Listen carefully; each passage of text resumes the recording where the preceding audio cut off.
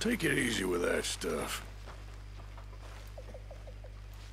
This is taking it easy.